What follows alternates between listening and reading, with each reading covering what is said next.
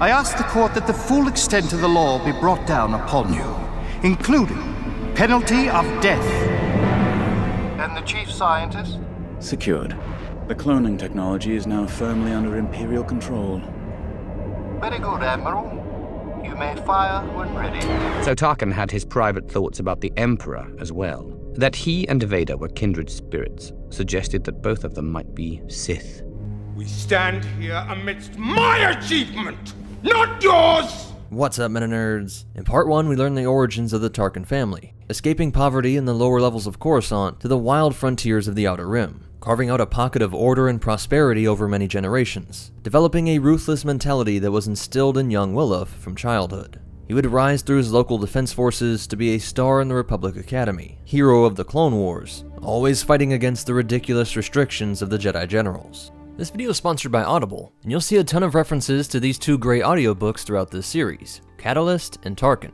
This is the best time to sign up for Audible as they're running a holiday promotion, 60% off your first three months, which is only $5.95 a month. And you will hear that the quality is incredible for their thousands of titles. Each month you get a credit that can get you any audiobook you want, and these credits roll over if you don't use them, while anything that you pick is yours to keep forever. If you didn't know, this is really the home of some of the greatest Star Wars content in years. And there's always something new, like the latest Thrawn book, Lesser Evil, which just dropped last week. The Features that I love are things like Whispersync if you want to read along with the audio, and both on PC and mobile it's really easy to bookmark or take notes. And there's things like a sleep timer so you don't get too far ahead, and the streamlined driving version, with a button that makes it really easy to skip backwards just in case you got distracted or want to hear something again. Whether it's Star Wars, the Halo or Mass Effect books, sci-fi classics like Dune or Foundation, and so many non-fiction books too, I'm sure you will love Audible. So take advantage of that 60% off your first three months. Just $5.95 a month. Check the link below, audible.com slash metanerdz, or text metanerdz to 500 500.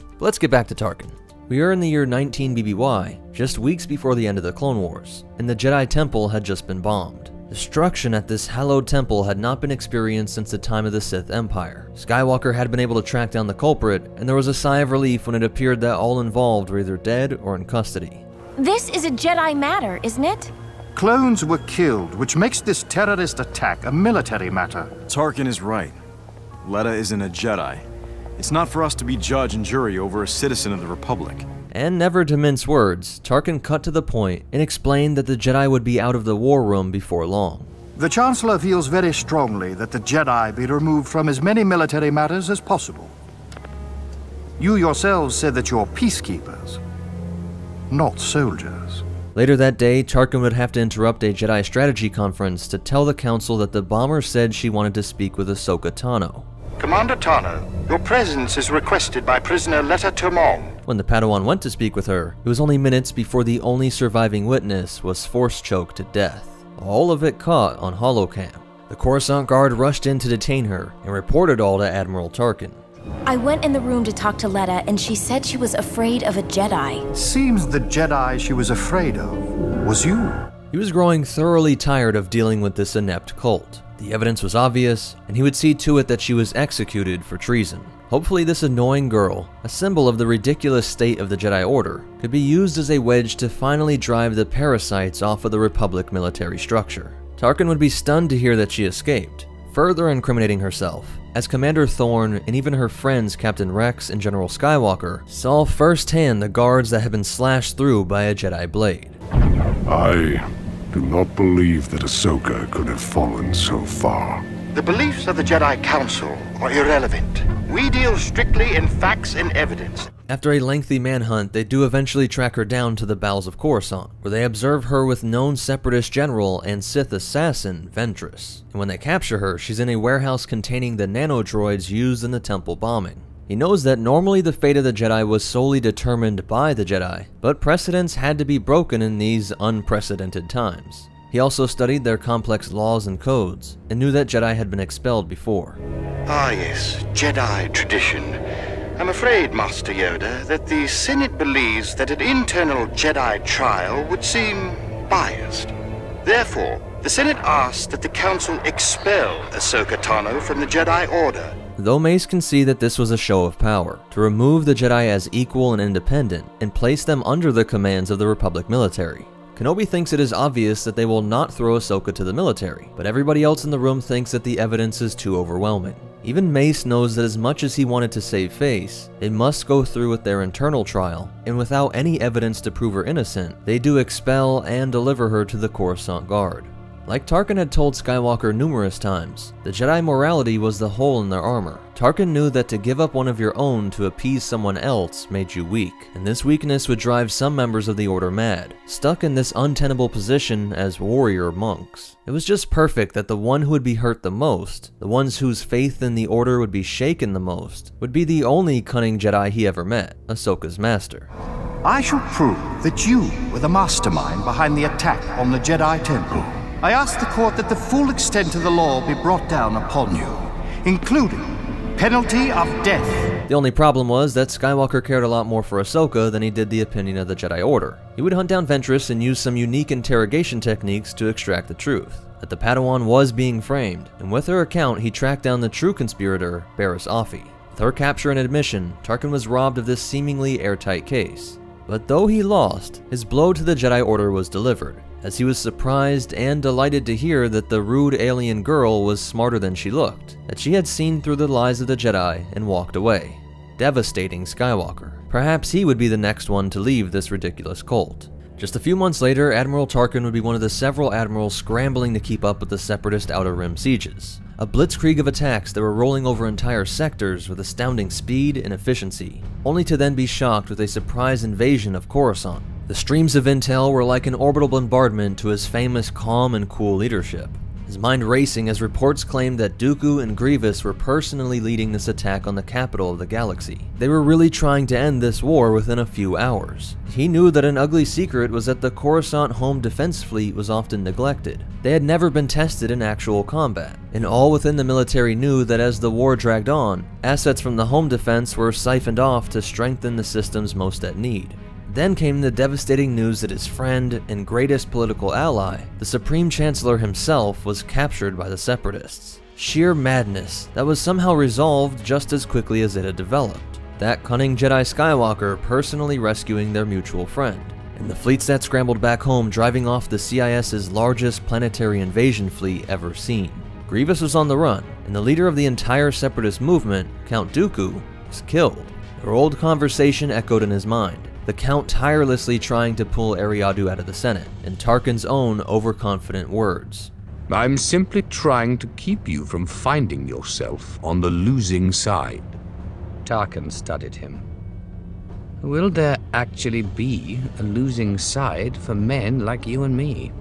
If not true for Dooku, it was only because he failed to see the power of Sheev Palpatine. Grievous was dead, and an assassin had killed much of the Separatist leadership meeting on Mustafar. A shutdown order was sent through the Separatist fleets, and none of that was the shocking part. Though he hated the Order, he was surprised to hear of their attempted coup in the final hours of the war, Mace Windu personally leading the charge into the Chancellor's office. Most assume that the Senate Guard and clone troopers present must have been the ones to save their beloved leader, who immediately used his emergency powers to make himself emperor. To the cheering applause of the Coruscanti, shell shocked by the CIS invasion and believing the Jedi were playing the galaxy all along, the secret source of the clones, with a supposedly fallen Jedi leading the Separatists. But Tarkin, and many others that dared to look into the events of that night, were unsatisfied with the official account. The Admiral wondered if anyone else had put it all together. The meek Naboo man had survived the attack by four Jedi Masters, and then instructed the clone army to kill each and every Jedi across the galaxy on charges of treason against the Republic. He understood this cult was a useless, vestigial organ left over from ancient times, but Palpatine's ruthless, complete removal of the Jedi was astounding, though it gave him a clue to the true nature of his old pal. And so Tarkin had his private thoughts about the Emperor as well. That he and Vader were kindred spirits suggested that both of them might be Sith. Tarkin often wondered if that wasn't the actual reason Palpatine had been targeted for arrest or assassination by the Jedi. It wasn't so much that the Order wished to take charge of the Republic, it was that the Jedi couldn't abide the idea of a member of the ancient order they opposed and abhorred emerging as the hero of the Clone Wars and assuming the mantle of Emperor. There was also the issue of the sudden appearance of one Darth Vader. The body of Anakin Skywalker was never recovered, and he supposedly died trying to defend the Jedi Temple. Anakin's forces, the 501st, led the attack. Skywalker was the only Jedi he ever met that strayed from the Jedi mindset and was a close friend of Palpatine. And now a previously unknown powerful Force wielder comes out of nowhere and is Emperor Palpatine's right-hand man. He would later learn that Vader was once a Jedi. It was all clear to Tarkin that this empire was led by a Sith, that ancient order that understood power and they certainly had the tools and weapons to enforce order over every sector of the galaxy. He would be made head of the eponymous Tarkin Initiative, the lead project successor to the Republic's Special Weapons Group,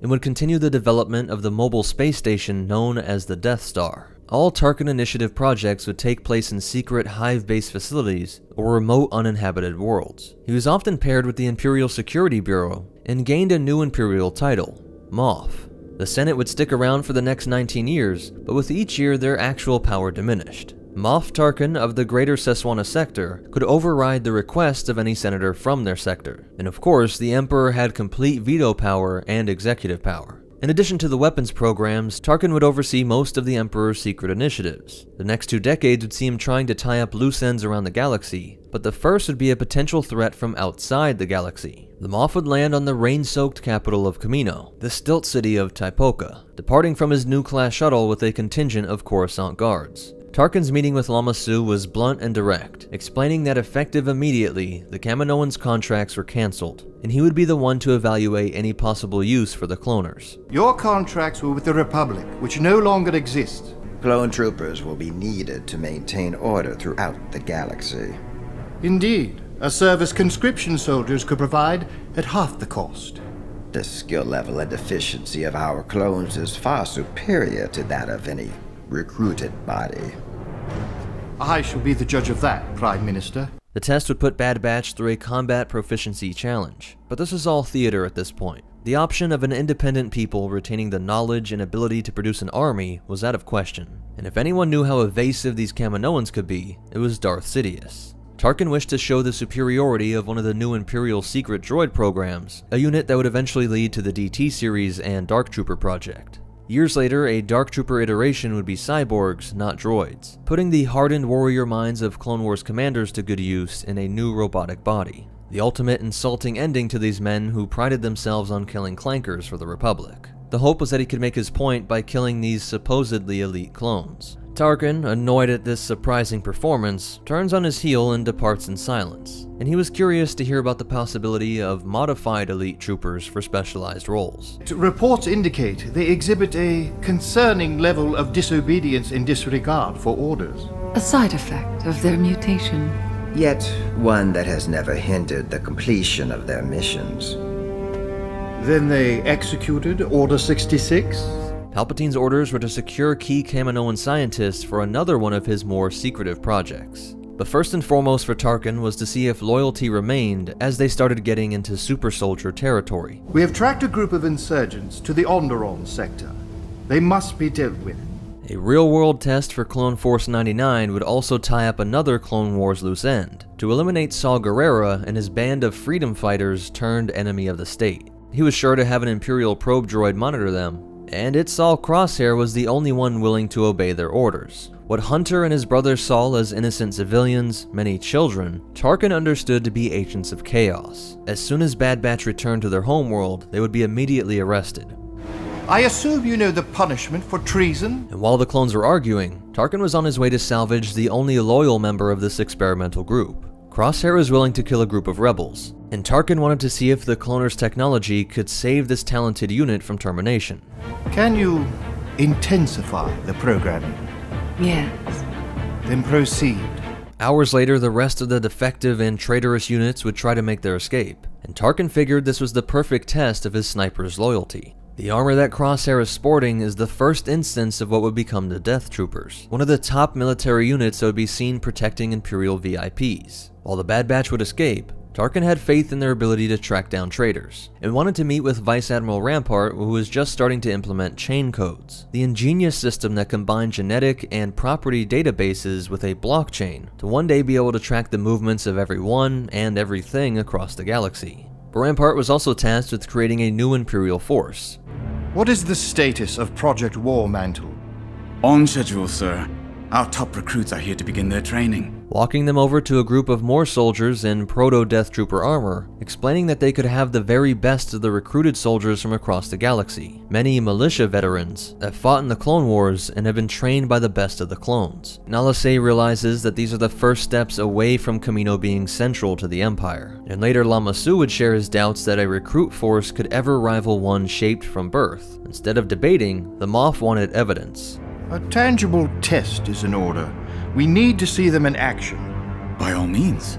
Send the clone and your recruits to Onderon. The team would blast their way through Saw Gerrera's forces, though the terrorist leader did escape. When the civilians refused to give up any intel, Crosshair shot one in the chest, and when one of the conscripted troops said that they couldn't slaughter these people, he was shot down too. Crosshair was able to get the troops to follow orders, something that proved the efficacy of Project Warmantle. The Clone Trooper program is a cost prohibitive relic of the past. Our forces will be unlike anything the galaxy has seen. Then I leave this project in your capable hands, Admiral. Thank you, sir. Rampart would organize the withdrawal of all valuable assets, including ships, vehicles, weapons, and troopers, while the cloners tried to keep the younger units calm during this upheaval. Your training will continue elsewhere. One of those places where clones were taken to was a hidden mountain complex where clone commandos were seen training new TK troops, soon to be known throughout the galaxy as stormtroopers. Before he gives the order, Tarkin confirms that the top cloners and technology were now in Imperial hands, crucial to the most top secret project the Emperor would ever undertake. All essential personnel have been removed from Kamino. And the chief scientist? Secured. The cloning technology is now firmly under Imperial control. Very good, Admiral. You may fire when ready. With this order, Tarkin had tied up one of the most obvious loose ends from the times of the chaotic and ineffective Republic. These secret allies of the Jedi were destroyed, and the means of clone production was now in the hands of the Central Authority. Around this same time, Krennic had finally been able to get Galen Erso to join something called Project Celestial Power. The Emperor was personally requesting that he come aboard, pleading that in this time of rebuilding a war-torn galaxy, the genius could use any and all assets he wished to crack the secret of drawing energy from the Kyber crystal. In fact, without the Jedi Order holding back that process, Erso would have access to things researchers could previously only dream of. The Empire has unrestricted access to worlds that for centuries were accessible only to the Order. Not just these small samples, but enormous crystals. Boulder sized, I'm told. Even larger. Sometime after this, Tarkin would be summoned to personally report on the progress of the Death Star to the Emperor and his top aide, Grand Vizier Mas Amedda. And it appears that he may have been about to talk about Galen Erso's involvement when Darth Vader burst into the room, force pushing the royal guards into the transparasteel so hard that it cracked and left them unconscious. Battle torn, the mysterious Sith Lord approached the Emperor, and Tarkin was shocked to hear the old man calmly ask to be left alone. And days later, Tarkin may have died at the mechanical hand of this being, if it had not been for the protection of the Emperor. Being a mysterious newcomer, Vader had survived two attacks on his life, knowing it came from officers hoping to take his position at the side of the Emperor. To strike fear into the core, he would select five of these officers at random and force choke them while their comrades tried to stay composed. It is after this incident that we would see Tarkin traveling aboard a Venator, repainted into the Imperial Grey, to personally show the Emperor and this dangerous Vader the progress of the Death Star battle station. And while Krennic would be left to head the project and continue to coerce Erso, Moff Tarkin would be tasked to put his military expertise to good use in snuffing out the first embers of dissent in this new empire. The flame of rebellion was raging on the water world of Mon Cala. This world, home to grotesque alien species that had been allies of the Jedi and anti-war movements, would be the perfect people to make an example of. In 18 BBY, he would lead the assault via an Imperial 1 class Star Destroyer, the Sovereign, while Vader was tasked with finding and eliminating Order 66 survivors, which were said to be aiding Clone Wars hero King Lee-Char. Major Rantu was charged with preparing the stormtroopers in simulations for aquatic combat, while Commander Jordo proposed the idea of spreading propaganda to drive a wedge into the historic rift between the Mon Calamari and Quarren, who were even recently enemies in the Clone Wars, and had always had sporadic fighting since their first contact with each other eons ago. After the briefing, Tarkin was informed that a Zeta-class shuttle was descending towards the planet, and he knew this must be the Sith and the Inquisitorius. On-world, Ambassador Telvar was meeting with the king to discuss a peaceful transition from independence into the Imperial fold. But right after Vader's forces emerged, the Ambassador's shuttle explodes. Tarkin is unsure what caused this, but it would rush the invasion forces to initiate the Battle of Dac City. The sky was filled with TIE fighters and modified LAAT carriers with the new Imperial troop transports, securing the landing zones for walkers like the AT-AT and AT-DP. Lee-Char's top military advisors were Ackbar and Raddus, and they planned the counterattack and evacuation of the above water population, while the king contacts Tarkin. The Moff uses the death of the ambassador as evidence that either the king has ordered the attack on the Empire, or he has no control over his population. Either required the Empire to take control and impose order. While Vader confronted Lee-Char, Tarkin witnessed the natives use wildlife to cause a tsunami that completely destroyed all of their above water cities. While the officers were in shock, Tarkin expected this move, explaining that this made it more difficult for the invaders to have a staging area, while only giving up what equated to outposts. Their true civilization was a thousand times larger than these lost ports, and all safely underwater. Tarkin is furious with his ISB agent, who supposedly had a complete profile on the technological wonders of these people, ranging from the galaxy-leading shield generators and energy systems, but their mastery of sea life was not fully understood by the Empire. The next stage of the battle would see Admiral Raddus organizing all of the Calamari reef ships at the southern pole, these structures essentially being massive city-sized ships, while Commander Ackbar would lead the attack on the Empire's floating staging platform. Leading from the front, an understanding of his craft and Imperial defense systems, he had them unload their complete missile payload at once, proving to be too many objects for the autocannons to intercept, turning this crucial asset into a ball of flames that came crashing into the seas. But the propaganda had not worked to divide all of the Quarren, and they were able to find and rescue the king from the brink of death. Back on the Sovereign, Tarkin is impressed when he hears the explanation of Ackbar's strategy, using solid projectile weapons, knowing the shields were most effective against energy weapons like turbolasers. He was equally unimpressed with his ISB agent, who somehow failed to provide intel on this weapon as well, and for this, Tarkin orders the agent to be put into standard trooper armor and sent to the front lines. Well, he resolved to escalate this conflict. With this surge, the Empire was winning every battle, but at a great cost, as they were drawn to fight in the watery corridors in confusing enemy territory, or chase aquatic species through kelp forests and pitch-black ocean canyons. And he thought Raddus's strategy was brilliant, huddling together and linking the massive merchant ships that had shielding for space travel and pirates, and combined these shields were now impenetrable by the underwater craft of the Imperial arsenal. Tarkin knew they were entrenched for far longer than the Emperor wished, and thus he hoped to employ some strategic negotiation tactics on Vader, asking the Sith Lord to go after King Lee-Char and leave his Inquisitors to finish off the Jedi that was still eluding them. Vader was quick to point out that Tarkin could not give him orders, but agreed with the Moff's reasoning, Tarkin saying that if he could help him with this, he would be in the Dark Lord's debt. The fight through the King's guards would be effortless, and once disarmed, Tarkin was hailed with the good news. He hoped that by forcing the king to watch his planet suffer from orbital bombardment, he would see that resistance was futile and call for a surrender. Lee-Char resisted, and this was all interrupted by the Jedi attacking Vader. After Order 66, Ferren Barr had been corrupted, and used evil tactics to grow a small cult of followers, finding anything as permissible that would help bring down the Empire. In the duel, the Jedi revealed that he was behind the destruction of the Ambassador's craft and that he hoped to manipulate Lee-Char into conflict with the Empire in order to spark a galactic rebellion. Though corrupted, Barr was seeing something through the Force, a vision that the Mon Calamari people and technology would play a central role in the eventual destruction of the Empire. He even saw into their future role in the New Republic and First Order conflict. When Lee-Char heard this confession, he sprung up to contact his forces and order a ceasefire, followed by a call to Tarkin to explain the truth. Tarkin agreed to end the fighting, but still bombarded several locations, adamant that Raddus's fleet could not escape. But Raddus was crazy enough to try it. He ordered them to fully engage their engines and push past the blockade and was able to escape through hyperspace. Though two cruisers were lost, three did escape.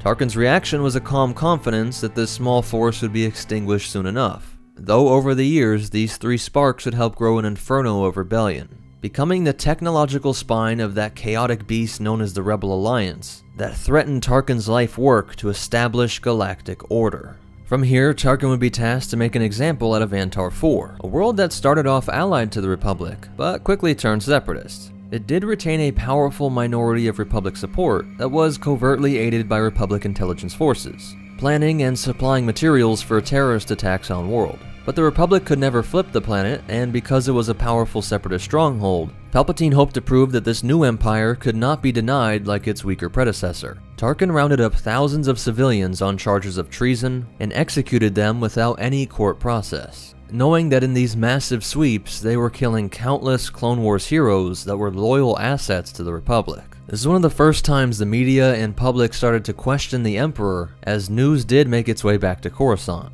But the media eventually got hold of the story, and for a while, the Antar atrocity had become a celebrated cause in the Core.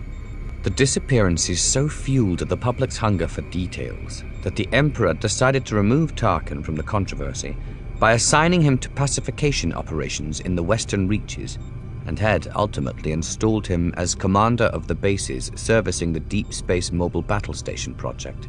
During this time, Tarkin would put down countless local rebellions and minor separatist holdouts, and it cemented in his mind the idea that these vermin could only be ruled through fear, that the Death Star was crucial to the peace of the Empire, as you could use the obedient masses to expose the rebel minority, knowing that being seen as a rebel outpost wouldn't just result in a battle that you could flee from one day and return another, it could mean that your entire planet would be destroyed, completely and forever, wiped from the galaxy. The western reaches were also home to countless asteroids, moons, barren worlds, and some populated ones that were full of untapped resources. And Krennic couldn't stand the fact that by pure luck, Tarkin was now managing this area of space. The rings over Geonosis were proving to be tapped, specifically of Dunamite and Dolovite, and Krennic hoped that mining could continue under the radar in the western reaches. Some of the most minerally rich planets happened to be labeled legacy worlds, an annoying holdover from the ineffective Republic era, that protected worlds seen as worth preserving due to their cultural importance or natural beauty. They both agreed that to get around this, they could use Imperial secret project funds to finance recently ex-separatist companies and do the illegal mining under their name. By the time anyone caught wind of this and put a stop to it, estimates said that they would have strip mined these worlds down to the bedrock, gaining all the materials needed to secure peace. They carried this plan out, and Tarkin was glad to see that he was correct in avoiding taking up full hands-on leadership of this project until it was further along. These constant delays and issues from scientists to minerals made him concerned that this project may never be finished. Better leave Krennic in place to take the blame. But incendiary Krennic was perfectly suited to be the one held accountable for all the setbacks and delays that were bound to plague the project the Emperor was also eyeing him to assume command and control of the battle station. To avoid having to accept the privilege prematurely, he would have to continue to defer to Krennic until the proper time. Again, his interests would line themselves up neatly in the actions of a smuggler named Has Obitt. Krennic had used him to rescue the Ersos, and now was in a joint plan with Tarkin to smuggle arms to mining operations, in effect framing them to look like rebel allies, which would then cue an Imperial investigation and lead to takeover. But as Obitt saw these mining worlds completely devastated, he started to develop genuine rebel sympathies.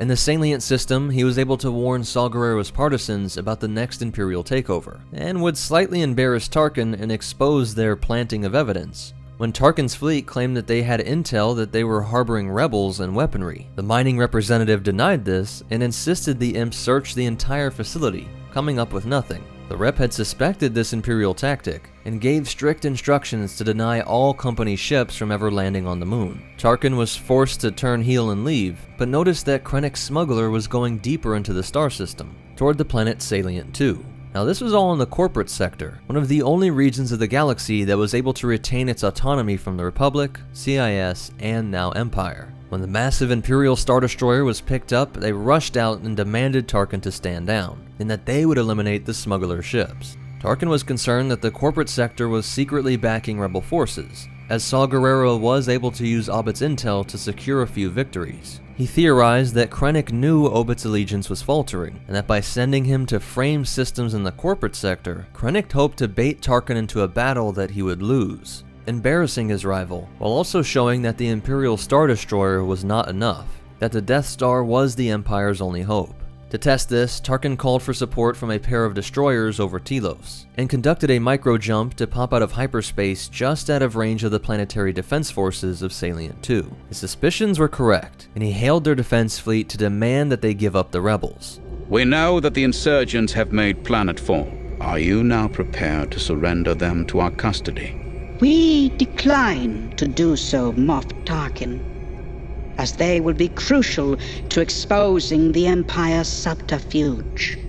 This was a problem as the Imperial framing tactic could be exposed, and still suspicious, Tarkin had the Ambassador's shuttle scanned. No signs of life were detected, and he shouted an order to lock that ship in place with the ISD's powerful tractor beam. The next beat would see three corporate sector warships emerge from behind Salient 2 and open fire on the Executrix. Tarkin made sure his command ship was outside of the range of the powerful planet-side turbolaser batteries, and the Ambassador shuttle exploded in a massive fireball that proved it was a drone bomb ship. Tarkin now found himself in the most intense fighting he had seen since the Clone Wars. Though through all the chaos, he was forming a smirk at the thought of just how brazen young Krennic was. Taken off his guard, Tarkin was willing to admit to himself that he had underestimated Orson Krennic who was certainly the chief architect of the mess in which Tarkin found himself. This initial fight would last for hours, both forces tactically retreating and reorganizing. Imperial aid came in the form of two Venators and a swarm of ARC-170s, which after weeks of fighting, eventually gave them that original moon they were hoping to take, and then carried out the destruction of most of Salient 2's fleet. With the planetary shield projector disabled, their government sued for peace, and the ARC-170s would act in a blockade role, while surveys showed that anything of value, including the mining operations on the moon and planet, were both sabotaged. Militias were dug in planet-wide, and Tarkin knew that it would take months to clear them out, and more than six months to take Salient 1 with the forces that he currently had. To further embarrass him, when Tarkin hailed Mas Amedda to update him on the progress and request more forces, the Chagrian kept noting that the transmission was cutting out and unstable, to which he finally had to admit that the salient forces were jamming him. And when the Vizier denied his request for troops or TIE fighters, Tarkin is frustrated and direct. If I didn't know better, Vizier, I might almost think that you're attempting to undermine my efforts. My grandstanding, as you call it, is part of the cost of moving the battle station project toward completion. This was not just a military embarrassment, but a PR issue exploited by the anti-imperial members of the Senate. And Amedda used this delay as a way to jab at Tarkin's concept of the Moffs, saying, You have advocated that the Moffs be entrusted with sector control. Amedda was saying, when it appears that you are incapable of subduing a single star system without Coruscant's help. Tarkin was furious at this situation Krennic had drawn him into, but knew the only way out was to fight for an eventual victory. For Salient 1, he ordered a blitzkrieg rush of all of his forces that would take the world before they could sabotage their facilities. And this worked to rush a near immediate surrender, followed up by their forces finding Has Obitt's hideout. A Venator would collapse the cave system they were using, but scanner droids identified a single survivor, proving why the smuggler's moniker with the partisans was Lucky Has. With a back to treatment, he awoke on the medbay of the Executrix, and Tarkin explained his options were to be tortured to death in Imperial prison, or flip on Krennic and help to undermine him. To Obitt, this was a win-win. He said that he was the one that rescued the Ersos, and it was Lyra Erso that convinced him that the Empire was doing horrible things to these worlds. And he believed that her husband Galen Erso wanted to flee the Empire as well. Obitt wanted to save his friends and hamstring the Death Star project, while Tarkin would be able to get his revenge, turning his major defeat into something that could be used to separate Krennic from the project. Tarkin warned Krennic of Obitt's escape and said that he was tracked to Coruscant, and though Krennic worried that it may be to smuggle out the Ersos, when Obitt showed up, there was no one with him, the smuggler claiming that he just hoped to hide out in the lower levels. All the while, Obitt had set up Saw Gerrera to coordinate the Ersos extraction, so Obitt was with Krennic when this happened, and thus seemingly blameless, and vowed to cause disruptions in the Death Star project, providing all the intel to Tarkin in exchange for him keeping his identity as the smuggler rebel a secret.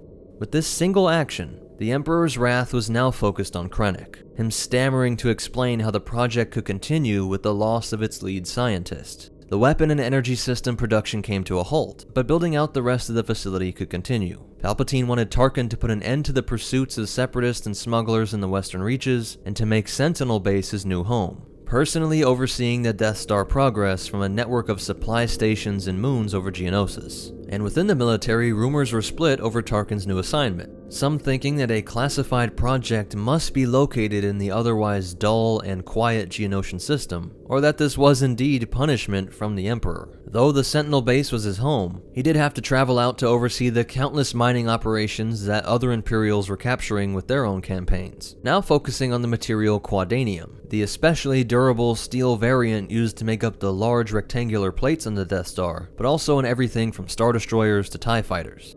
One of these mining worlds was Agaris, and more delays were resulting from mysterious disappearances of Imperial droids. Most of wild space exploration was made possible by the cartography work of the now traitorous Auric and Rhyssa Graf, whose children were believed to have joined a rebel cell on Lothal. This was the first Tarkin would ever hear of the backwater planet Lothal. And the problem was that the Graf family droid contained useful data on this region. Tarkin was working with a KX series security droid known by the designation K4D8, who many believed was secretly spying for Krennic, but nonetheless, Tarkin used it to help with the monitoring of the shipments, while he tried to locate the Graf children, and simultaneously try to extract intel from the imprisoned parents by claiming that he had their children in Imperial custody. Reports said that there was a crash landing on the fungus moon of Agaris, and he suspected that this was the rebel Runts attempting a prison break. Tarkin's tactics with the parents were to remain kind to them, even offering a rare white Alderaanian wine, but when he hinted that this world was devoid of sentient life, to be stripped to bedrock, he noticed the husband was trying to hide some sort of fear, as if there was some unreported life form here that could be lost.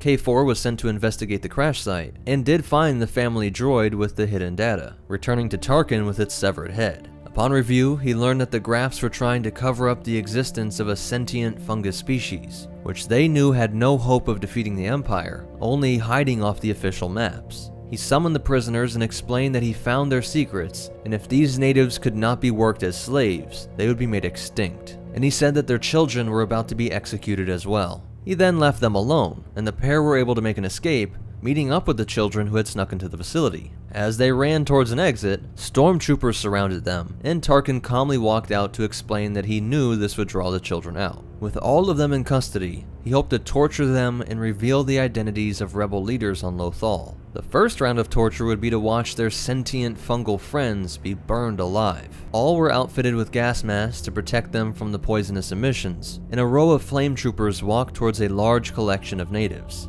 Tarkin also prepared TIE bombers which were screaming in overhead. But just as he was about to conclude his victory speech, organic weaponry in the form of spiked spores rocketed out of the jungles and took down the lead bomber. The fiery wreck consumed the courtyard, and through the smoke came smaller spore weaponry, and the native agrarian warriors storming the Imperial facility. Troopers were downed, and Tarkin rushed the prisoners off to his personal stealth corvette, the Carrion Spike. The natives intercepted him, and explained that the troopers were not dead, just asleep, and would be healed if the Imperials would promise to leave them alone. Tarkin refused, and though he lost control of the prisoners, he would escape on the Corvette, leaving K4 to fight to the death among the fungus. And from the viewport, he watched several organic ships take off from the world, a desperate attempt to evacuate their population in fear of the inevitable orbital bombardment. This was then followed by rebel ships that rescued the Grafs.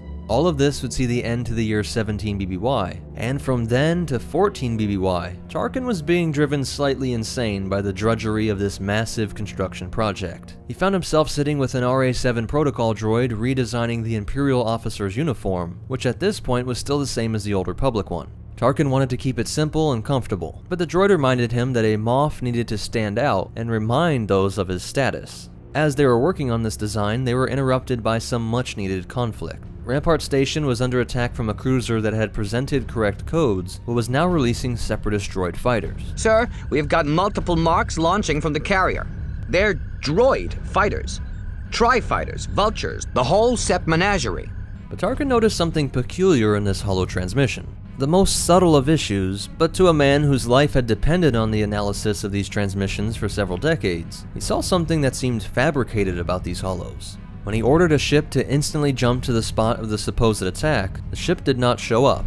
Then it made micro jumps around the spread out complex of stations around Geonosis, and eventually it was picked up. Tarkin had found the true location of the attack, far from Rampart. When the Imperial ship engaged the carrier, it released even more droid fighters and was able to escape through hyperspace. This carrier was a smaller version of the Providence class dreadnought, specifically built from parts of the Lucid Voice, the sister ship of Grievous's flagship, the Invisible Hand, while other parts came from the Invincible. Tarkin didn't bother to mask his surprise. That was Separatist Admiral Trench's ship, destroyed during the Battle of Christophsis. The ship was modular in design, and the modules that survived must have been worth salvaging and putting on the open market. His advisors showed him records of how the Free Dac volunteers working at the Bilbringi shipyards had been dismantling these Clone Wars era ships. But there was evidence that credits were making some of these things disappear from the scrapyard and alter records. These Providence class ships had been one of, if not the best, hyperwave transmitting and encrypting technology, developed out of the mercantile origins of the Separatists, evading pirate attacks and staying coordinated across the galaxy. Somehow, these attackers had used this tech to hijack and even produce false hollow transmissions. But even stranger to Tarkin was the lack of destruction they sought. The mysterious cruiser hadn't discharged any of its point defense or ranged weapons. Why hadn't whoever was behind the attack used the ship as a bomb by reverting from hyperspace in closer proximity to the moon? Planetary bodies larger than Sentinel had been shaken to their core by such events. While Tarkin was reviewing all the data being collected by his officers, he was interrupted by a call from Mas Amedda, who again was probing and insinuating at the difficulties the Moff was having with keeping order. He thought of how Grand Uncle Jova would have loved to have had a Chagrian head mounted in his cabin, and after some verbal jousting, Amedda finally reveals that it was the Emperor requesting that he speak with him personally on Coruscant. Tarkin ended the call and rushed to RA-7, telling him to get the new uniform crafted immediately. Tarkin summoned the uniformed 3D image of himself from the holotable and regarded it, thinking back to Eriadu and recalling Jova's comment once more. It'll look even better with blood on it. The trip would be via the Carrion Spike, and he conducted a flash inspection of his crew, finding a stain on a boot that, through a series of questions and observations, resulted in him revealing that one of his crew was a spice user, and that there may even be a group of users on board. Even the officers that worked closely with him every day were shocked at how he was able to reveal all of this from a simple stain on a boot, a stain that corresponded with a type of oil only found on a specific speeder held in a part of the ship where he had previously found a discarded spice baggie.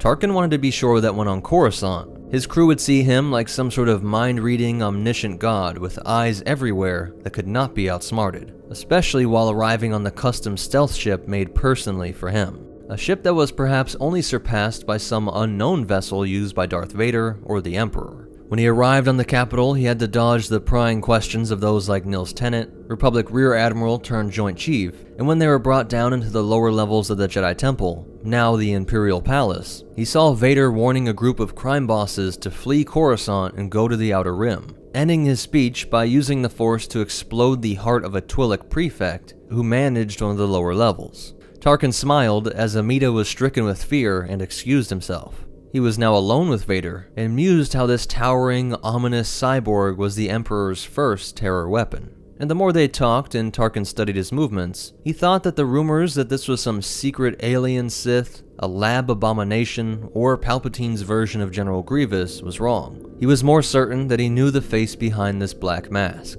Vader might very well be Jedi Knight Anakin Skywalker, whom Tarkin had fought beside during the Clone Wars, and for whom he had developed a grudging appreciation. Vader explained that the droid Gotra, a rebel group comprised solely of droids of all sorts and variety, had been behind a lot of attacks on Coruscant, but he had to cut this conversation short and meet with the Emperor. The new office had some art like the old relief panel of an ancient battle and statue of Sistros, along with new items acquired as spoils of war, and Palpatine thought back on their long friendship. Twenty years ago, who would have thought that two men from the Outer Rim would sit at the center of the galaxy?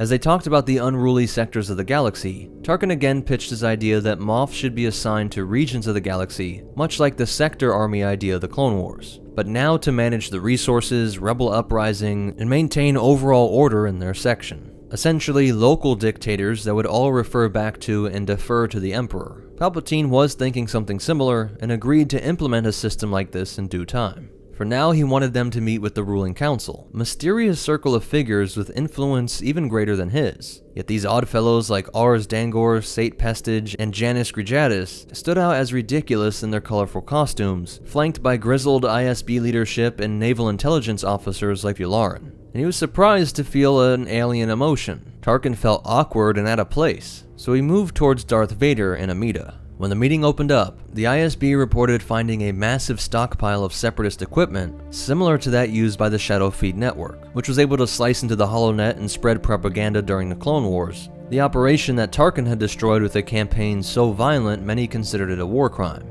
Tarkin wasn't sure who else in the room knew about the attacks in Geonosian space using faked holos, and he had to hint at the issue, eventually needing to reveal details like the repurposing of separatist droids, and the fact that most likely it was an Imperial intelligence expert that was helping these rebels. Ignoring the ISB agent's outrage at the implication, and after further bickering that reminded Tarkin of the Republic era, Mas Amedda stomped down his staff and called for the meeting to end. The ultimate fate of what to do with this stockpile on the planet Murkhana would be decided by the Emperor. In the Emperor's chamber, Palpatine explained that there is a supernatural importance to this planet, that the ties to Vader and Tarkin's past here were not a coincidence. Do you not find it intriguing that both you and Moff Tarkin have ties to the very planet where this newly discovered cache of jamming devices has been found.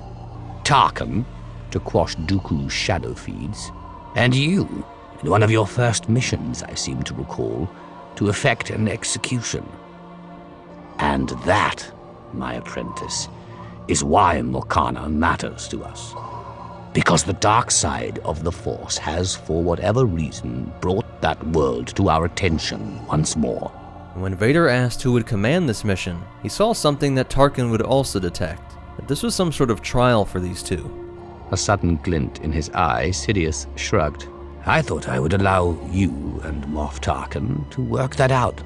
The Emperor goes further to try and make Vader understand that Tarkin was one of them, not just in mentality, but in the fact that the Force took preference of him, but also tested him in ways that Vader was not appreciating.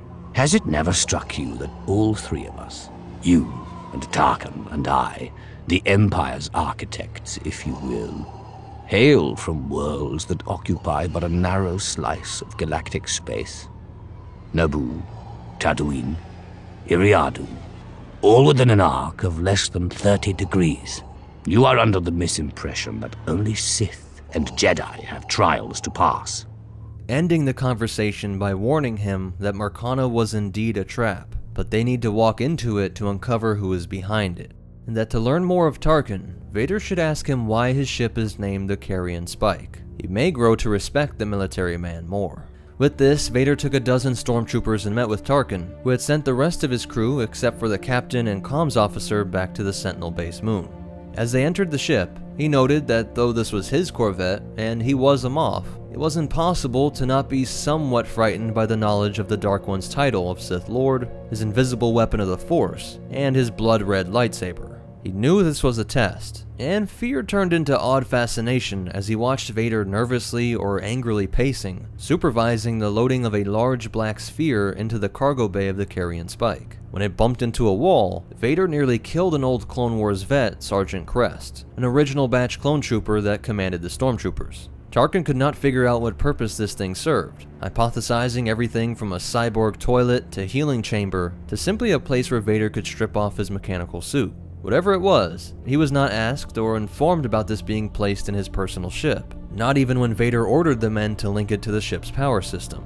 The mission that follows would bring the Sith and Moff closer than before, as they hunt down the greatest threat to the Empire to date, a threat that would prove to be just one part of a larger movement of rebellion that Tarkin would spend the rest of his days suppressing bringing him into contact with other military geniuses like the alien Thrawn, and bring the conflict with Krennic to a head, as he hoped the Death Star would be the embodiment of the Tarkin family philosophy, wielding fear as a weapon to ensure order. Thanks for watching guys, keep an eye out for part 3. If you made it this far, the best way to help me out is to hit that like button, share it with somebody who will like it, and subscribe if you want to see more. You can go even further by checking out the links in the description. We will find affiliate links with discounts to cool metal print art and free audiobooks from Audible. You'll also find our Patreon and PayPal, and special shout out to our supporters over on Patreon, especially our $25 tier supporters Matthew Beltrami, Bill Payne, Brandon Robinson, and Jace Peck. But most important of all, remember, the best way to make Tarkin smile is to use a clever plot to try and kill him. And the Force will be with you. Always.